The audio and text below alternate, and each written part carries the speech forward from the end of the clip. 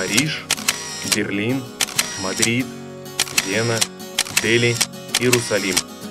Улыбнитесь, вас снимает космическая камера.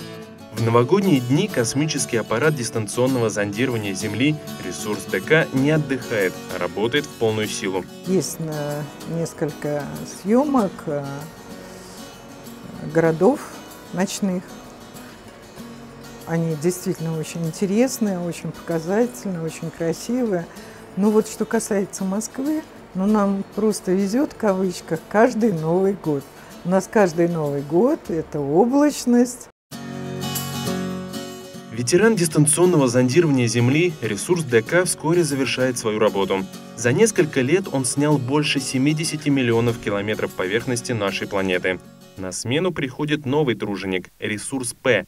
Он вобрал в себя лучшие черты своего прародителя и во многом его превзошел. Ресурс П, конечно, это новый аппарат, где и гиперспектральная новая аппаратура, которой нет сейчас ни на одном аппарате, и широкозахватная многоспектральные, мультиспектральные аппаратуры.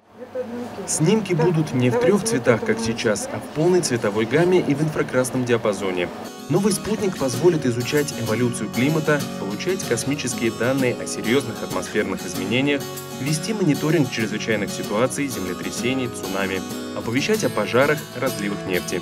Ну и дополнительно, там, кроме разрешения одного метра, там еще мы поставили аппаратуру с разрешением 5 метров, 10 там, метров, 20 метров. Для сельского хозяйства это иногда важно, не важно вот, метровое разрешение видеть точку, важно наоборот большие площади смотреть. И для наводнений и прочее. Там-то стоит такая аппаратура тоже. В космос спутник отправит весной, пока же фотосессию Земли ведет орбитальный ветеран ресурс ДК. Новый год – время чудес. Возможно, пролетая над Лапландией, родиной Санта-Клауса, или над Великим Устюгом, домом Деда Мороза, спутник сделает сенсационные снимки, и новогодняя сказка станет реальностью.